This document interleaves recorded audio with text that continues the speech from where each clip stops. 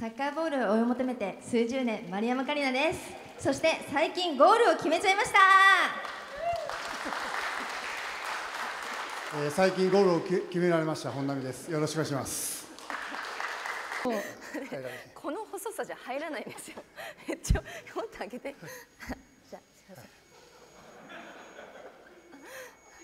丸山さん、テレ屋さんなんですかね、やっぱり。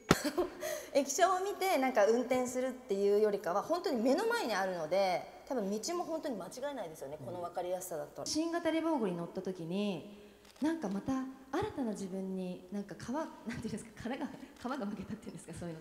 皮がなんかむけて新しくなったみたいな乗った時に。それぐらい感動しちゃってもうほとんど今私皮むけてる状態脱皮ですか？そう。なんかそれぐらいわかります言うてる意味、新しい自分になった。本並さん、通訳していただいて。えー今のは無理です。ちょっとわかんないでですでそれぐらい本当に感動したっていう新しいものに出会って感動したっていう、もう早くあのレボーグにしてどっか行きたいです。はいそうですね。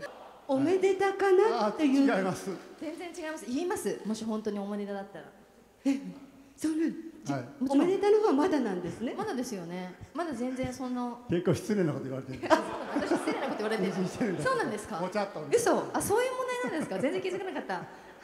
大丈夫ですよ。あコウノトリの計画はまだちょっとでもバタバタしてますけど、どうですかね？夜にならないとね、まあ、僕がちょうど東京オリンピックの年に生まれたんで、まあ、来年、まあ、今年だったんですけど本来、まあ、来年に伸びたんでまあそれでっていう感じもあるのかなってそれならすごくないですか？